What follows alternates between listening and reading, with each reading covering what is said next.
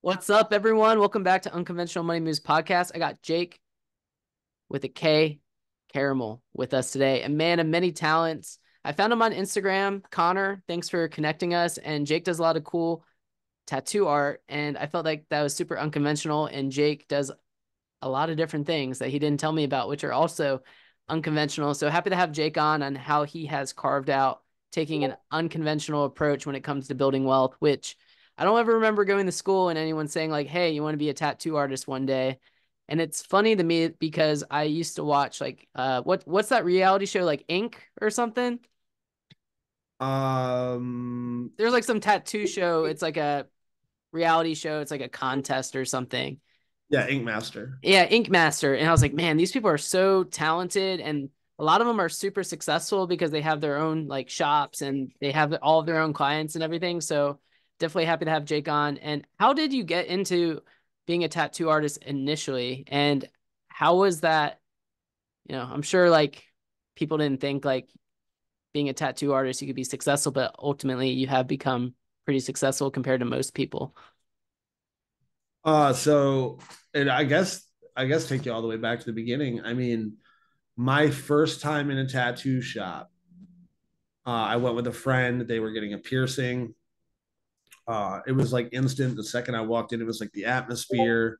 It felt like everybody was like, everybody was being creative. Everybody was having, you know, fun. Like it seemed like, I don't know, just everything about that day resonated with me. And it, it kind of just, I don't know if I knew that necessarily then, but it kind of stuck in the back of my head, at least that that's what I wanted to do. Um, fast forward a couple years later, a few of my friends had gotten tattoo machines and were just, you know, destroying their friends' lives. so I decided to give it a try too, and I destroyed a couple of my friends' lives. You know, like put some really bad tattoos on them. Um, shout out to them for still rocking some of those bad tattoos. Uh, it started there, you know. I started tattooing my friends just for fun. You know, didn't charge anybody, but I mean, definitely wasn't the safest environment. yeah, I, so, I, I, did I did want to become like a professional though. Like I had aspirations to like, you know, not stay, you know, doing it unprofessionally. So I did try to seek out an apprenticeship in my hometown. Unfortunately, in my hometown, it was watered down. Like it was, they were basically like churches. You know, there's one on every corner almost. So it's very highly competitive. You know, people are very cutthroat there. Um, it's also just the city itself so it didn't really help that like there was just no support for that you know um, so I didn't actually get an apprenticeship in my home state. Every uh, every shop I went to was basically like, nah, you know, you're not good enough. Um, you'll never make it in this industry. You know, amongst some other really mean things. You know, to put it light.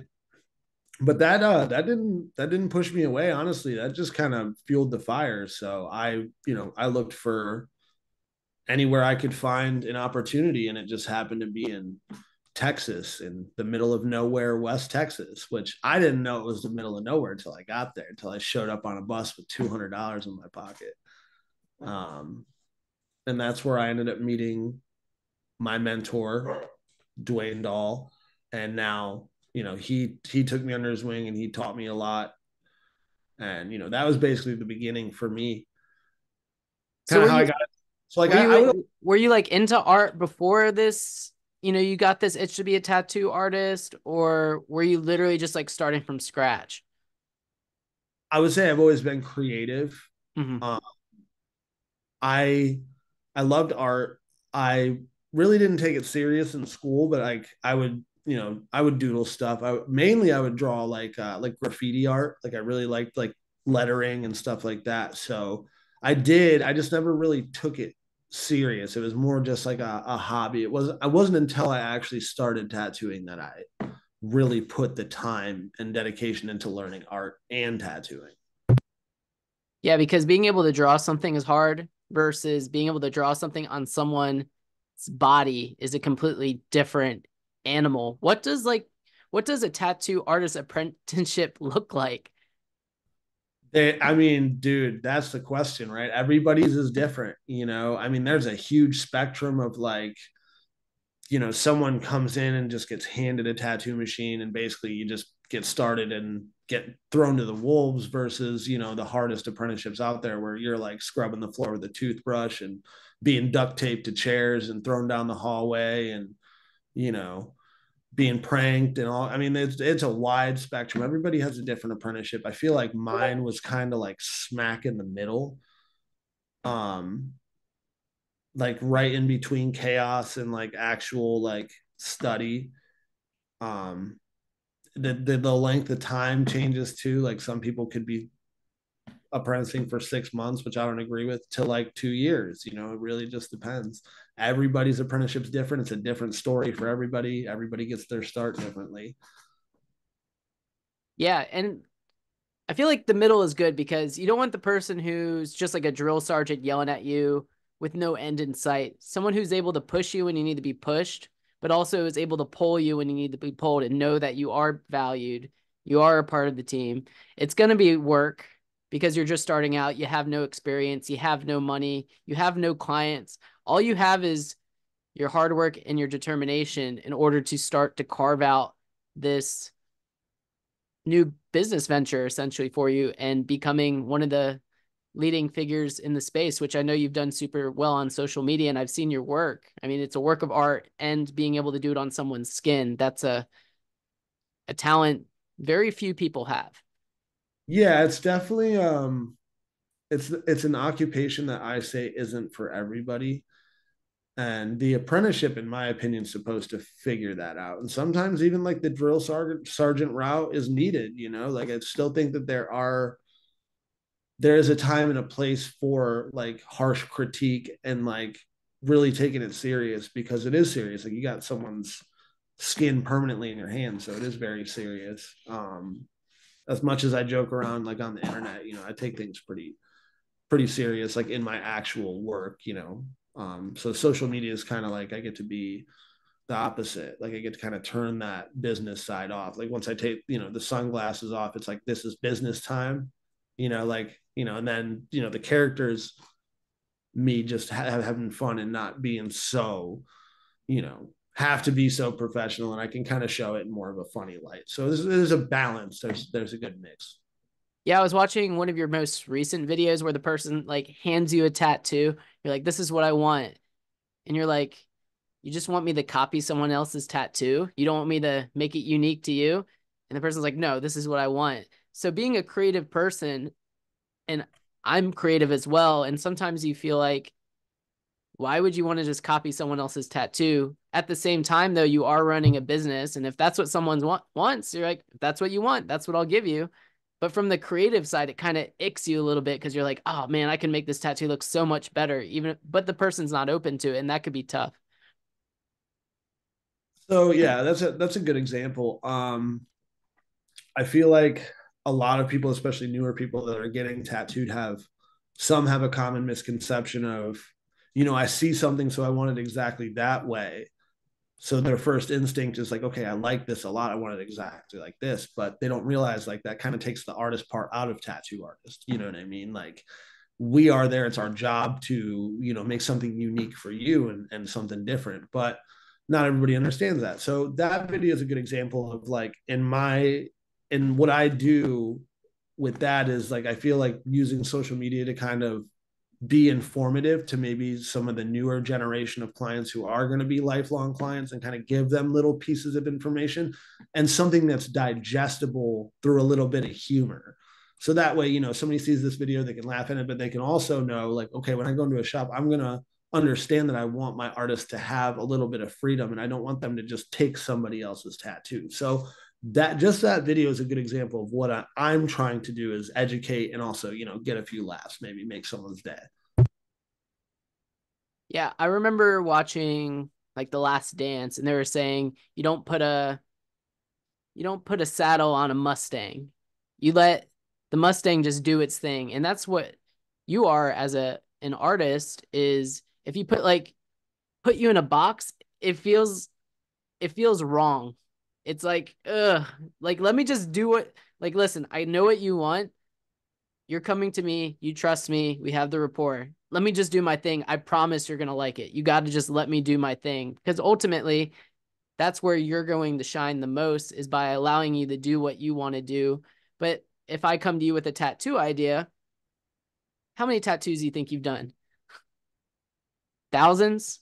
Tens of thousands? Tens of thousands, maybe. I have no tattoos. So I'm coming to you as the subject matter expert, knowing what you know, giving people these bad tattoos when you first started out, and being able to transform and evolve into the artist that you've become by me giving you the idea and then you taking that idea and having a even better idea than what I could come up with on my own. And the problem is too, you know, uh, we get kind of put it at somewhat of a deficit because say you get a client that may have done that with another artist, right, and trusted somebody to do that, and it doesn't come out the way they want. So they're less likely to give any trust. They're like, I have a better chance if I just make somebody copy this exactly because it's a lot harder to miss, if that makes sense. Totally, because past performance in the investment world doesn't guarantee future results. Just because you had one bad relationship, one bad experience with another person, you have to put that aside because this is a whole new relationship. It's independent. And this person is now coming to you for this tattoo. It's like, hey, whoever you worked with before, like you spent 200 bucks on this tattoo. You know, you're coming to you. I mean, a tattoo's probably going to cost a few thousand bucks or something that's intricate at the very least if I'm going to get brain surgery, I don't want a first year medical student. I want someone who's done thousands of brain surgeries and it's probably going to cost me a lot more money. No, I agree. And, and uh, the, the problem is, is it comes down to the research, you know, like and even with research you don't always get the results you want. It's it's more of a process. So like if you take pride in the process of finding the right artist you're going to have a better chance of getting a better product. If you're just like i'm just going to get tattooed by any regular joe up the street you know because i want it to maybe be a little bit cheaper you know i don't necessarily want someone to take too much creativity or a lot you know extra you know detail into it because i have a specific budget. They're afraid you know if somebody's really good that they're not going to want to do one of those smaller tattoos you know so there's a lot of factors a lot of factors that can go wrong before you even get to the shop. But i i think that with research and even after the research going and talking to the artist is very important because yes you might like my work and this is that this is a maybe an uh, unpopular opinion but you could like my work but you could not like me and i could not like you. And here's the thing if you don't like me and i don't like you how are we going to creatively come together to give you exactly what you want right and there's nothing wrong with that. It's just like relationships. When you date somebody or you have a friendship like not every friendship's going to be for you. Not every relationship is going to be for you. But if you if you take the time to really look and like research and ask and like talk to the person you're going to have a better result. And you're going to have a better experience too and i think that's super important. So that's why you know I, I tell that when i'm tattooing people and i also preach that when i make my videos. As goofy as they are and as goofy as they come across like the point is you know do your research find somebody who makes you feel comfortable. If you're going to be spending money on somebody give it to somebody that you enjoy and you want to see do well and you want to support and you know you enjoy your time together. And it's a lot of fun and it's not this weird like like exchange of like be quiet sit still give me your money goodbye. You know uh that's what i'm kind of working towards is to change that. And i feel like i haven't necessarily done it but i've played a good helping hand in it totally spot on because I could come to you with a, hey, Jake, I just want a small tattoo. However, just like you are in your profession, business, relationships, that small tattoo could transform into something that takes up my whole arm. So knowing like having that conversation some with someone like, you know, this is your first tattoo. You know, you want to get it here because if you want to get more, you want to make sure that the flow of the art is on the arm. Like, could you explain that to me a little bit more? I mean, I don't know anything about this. I'm just thinking like if I was a tattoo artist, what I would want to talk to someone about. No, that's actually a good point, and, and it's funny you say that because that's a point a lot of people miss. Uh, and I, I myself have missed, you know, as a uh, as a client getting tattooed before I I ever tattooed myself, like did tattoos. You usually have two routes my opinion. The client comes in, they want to get a tattoo. There's clients who are going to get maybe one tattoo every couple years or every couple months. There's going to be a long span between. They're probably not looking to fill their body up. then there's the clients who you know they see people in tattoo magazines they see all these models with like really clean nice full body suits or like full sleeves full legs whatever and they want to get big work and they want to have it look cohesive like you're talking about some people get lost in translation where they start off with that small tattoo but then decide later on oh i want to actually do a sleeve. But then the placement of that tattoo previously now kind of like disrupts a little bit of the flow for the longevity of the project as opposed to if they gave me a full free arm we talked about it, they're like i do want to fill this arm completely the placement's going to be different now than your regular client that comes in and is, you're not going to see them very often. They don't want a full sleeve. They just want a couple tattoos on their arm or like, you know, one here, one there, you know. Um, it really just, just depends. And and communication is everything. Before you even get to the tattoo, communication is what's going to give you the product. You know, like that preparation beforehand. Like if, if there's no miscommunication between me, you, and the art, the product you're going to be happy with it and i'm going to be happy with it. Because at the end of the day you need to be happy with it but i'm not even going to show it to you unless it's something that i would wear myself. So if i'm coming in for my first tattoo other than my face where's the worst place to get like your first tattoo if you want to expand on your vision to create more of a full body piece such as a sleeve? Um i mean there's many areas I mean, it.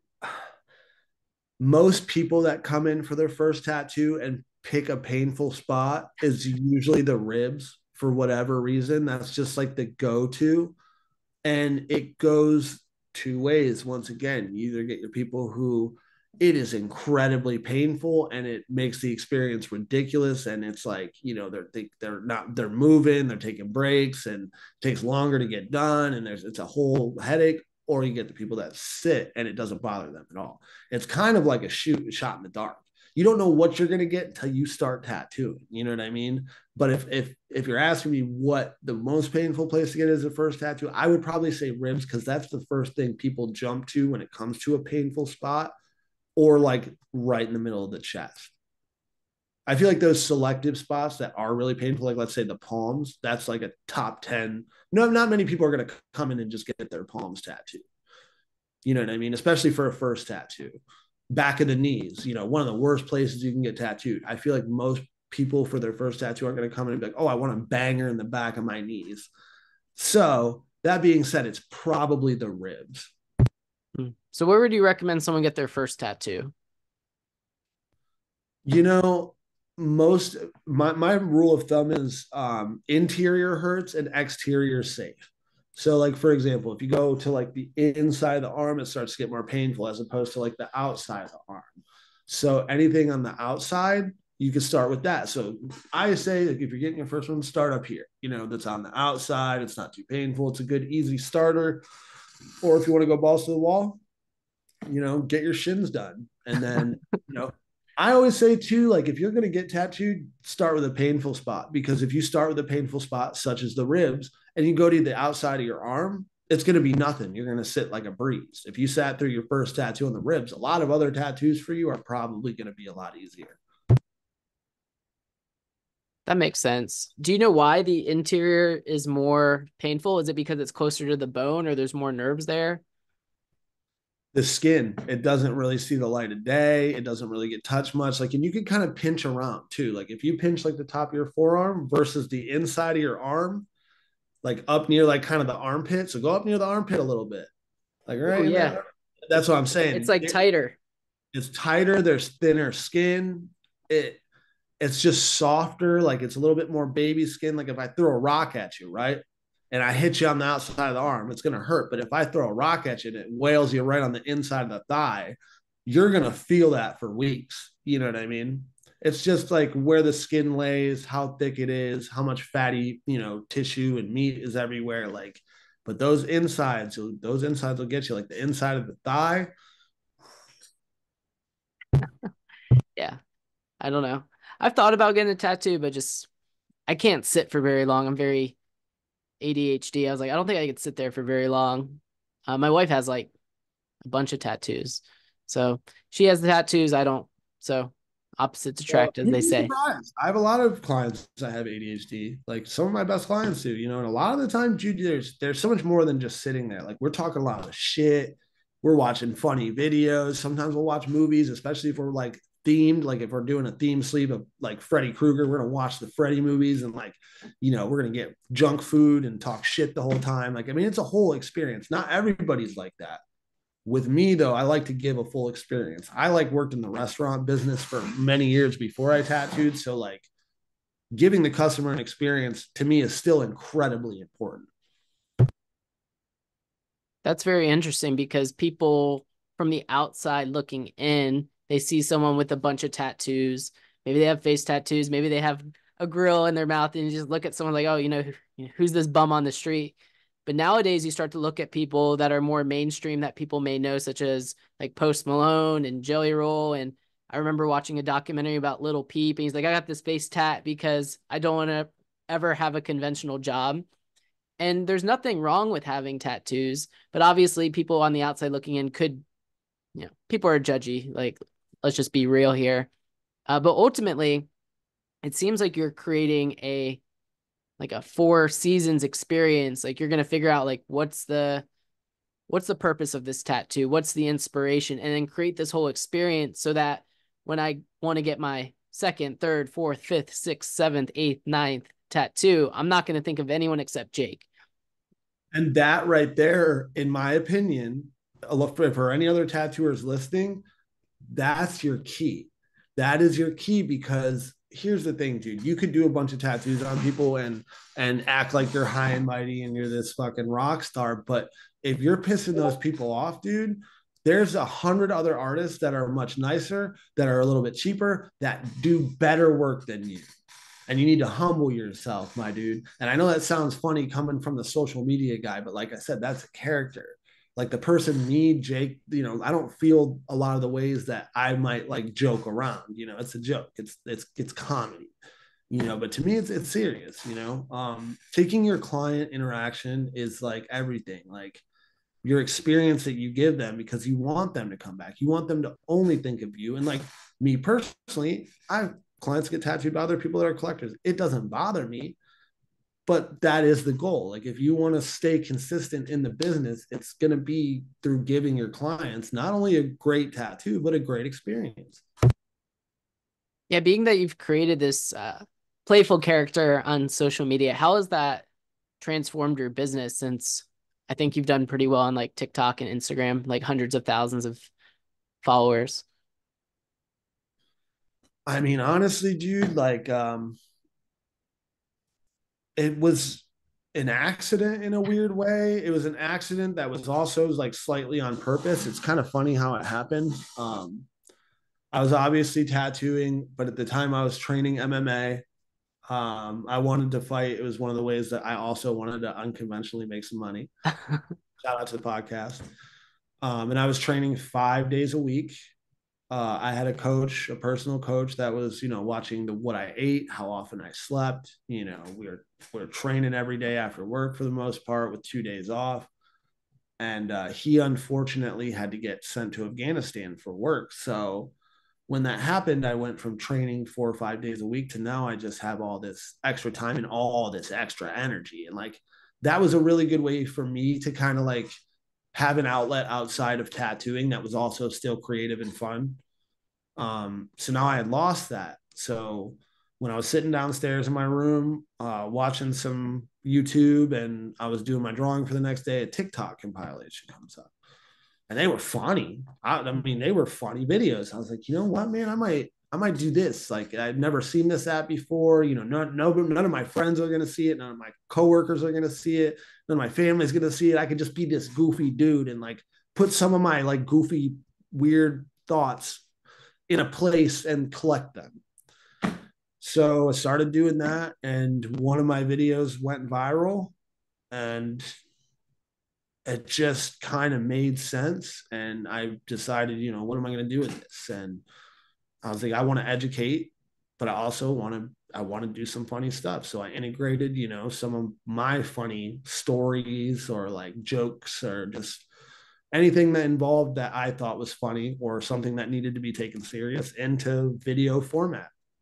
And I mean, it changed my business. You know, uh, I went from just being some random tattooer from bumfuck Maryland to, you know, people in Italy know who I am. People in Germany come over to get tattooed. I, you know, I can go to any tattoo shop around the world and be welcomed. And, you know, for somebody who never used social media before that, it was a lot to happen really fast. And I had to make a lot of quick decisions, some of which I'm proud of, and some of which, you know, I would change if I could. But, you know, at the end of the day, I'm happy with where I'm at and I'm happy with, you know, how everything has unfolded. And now, because of the internet, I'm able to dip my toes into a bunch of different other avenues and a bunch of other unconventional ways of making money. Like I DJ as well.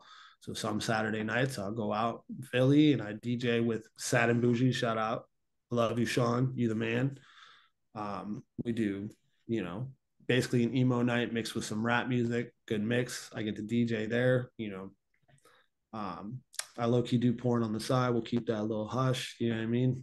With the OnlyFans wave, you know, there's definitely money to be made there you know investing there's there's just so many different avenues especially with the internet because i grew up in an era when i first you know was young there was no internet to where now there's this wave of opportunity and and, and i feel like for people right now it's important for people to understand that this is the way you can set yourself up for the future the time is now and like stop letting the thoughts of everybody else and everybody else's opinions affect your bag if you want to do something and it makes you happy, like just do it, man. Like I was scared, don't get me wrong, for people to see what I was making and stuff, but I wouldn't I wouldn't change a thing if I could go back. You know, everything's worked out really well and I've been able to have a lot of opportunity because of it. And I've been able to make some unconventional money moves, as one would say, that I feel like a lot of people don't have the option to. So it's been great, man. It's been really good. I'm doing really well.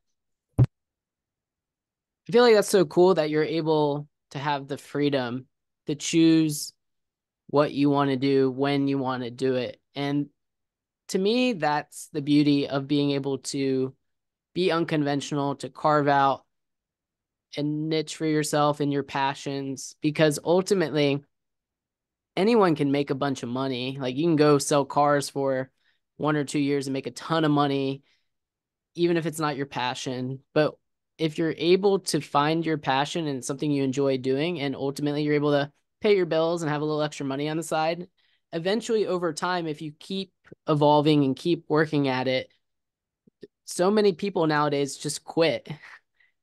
Eventually, all those people are going to quit, and then you're going to find yourself, you know, standing at the top of the mountain, such as going viral on TikTok, and now people all over the world know who Jake Jake is, and that's who I want to give my tattoo.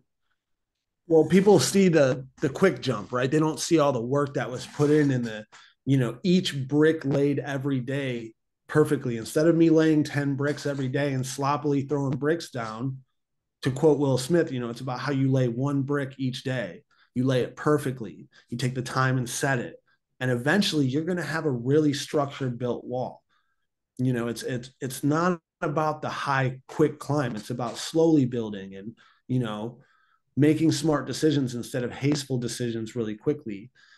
Um, people want to get to the top of the mountain, but they don't want to climb it. They just want to take an elevator, and there is no elevator. Like, I hate to break it to anybody listening, but there is no fucking elevator, man. You're going to have to take each step every day. And trying to run up, you could slip, you could fall, but take one step a day, slow pace, see the top, don't get distracted by all the things. Don't get halfway through and then see this other half of a mountain and think you can't climb it, man. You already made it halfway. Stop giving up. If you got a product, if you got something you're making, if you got music, if you got art, if you got t-shirts you're selling, if whatever it is, you know, like day by day, one brick, you will have a wall at some point. Build that wall, folks. Well, Jake, so happy to have you on. Thanks for sharing everything that you're doing. MMA, OnlyFans, tattoo arting, artistry, DJing. So happy to have you on. There's no more, no perfect guest on here like Jake, you know, doing it, doing a little bit of everything being unconventional. So we'll see everyone next time. Bye.